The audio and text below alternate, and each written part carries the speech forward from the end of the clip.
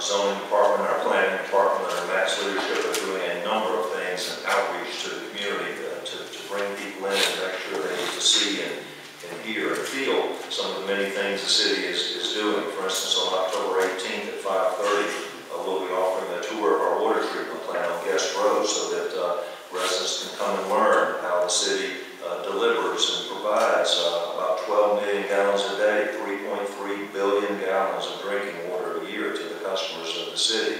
On October 20th, have a tour of the Traffic Management Center. On the 24th, have a tour of downtown Valdosta.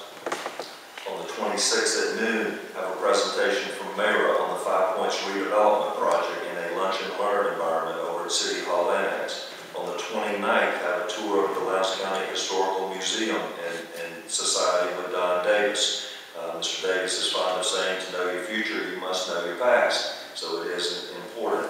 And then finally, on the 31st at noon, to have a T-SPLOS presentation at the uh, RC, the Old South Georgia RDC, uh, from Corey Hull to talk about the transportation vote, tax vote that will be taken next year. So these are all ways that we're trying to reach out and engage the community in issues of importance uh, and make sure uh, that they are aware of them.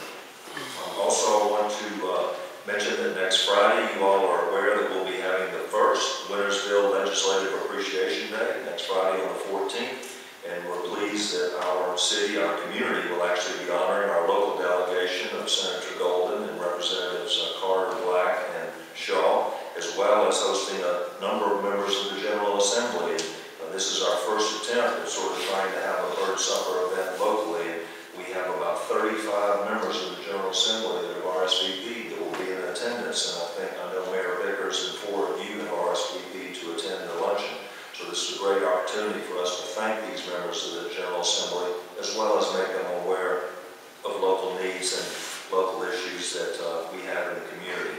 And I also want to mention, you all know we went through a major planning exercise last year to plan for the future of our downtown, to go through a very community-oriented planning process to develop a new master plan that was adopted by you all.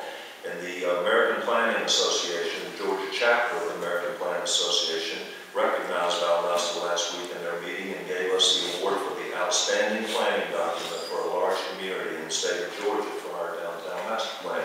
So that's, uh, that's a very nice honor and uh, demonstrates the value and the importance of, of planning, particularly with such a public-oriented participation process as we had. And I know today you read the article, and uh, we appreciate the Times reporting these good stories about the men and women who work for the city, and particularly our law enforcement agencies, but about Lieutenant Manahan and being a graduate of the FBI Academy. And I just wanted to point out uh, that's uh, very prestigious just to be asked and to be accepted into that academy. It's a very selective, difficult selection process.